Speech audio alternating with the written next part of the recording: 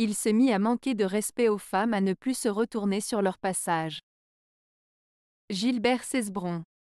Cette citation met en évidence le manque de considération envers les femmes de la part de l'homme décrit.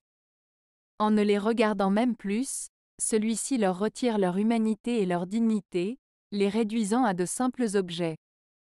Ce comportement témoigne d'un manque de respect et de considération pour les femmes en tant que personnes à part entière, et peut influencer négativement les relations entre les sexes.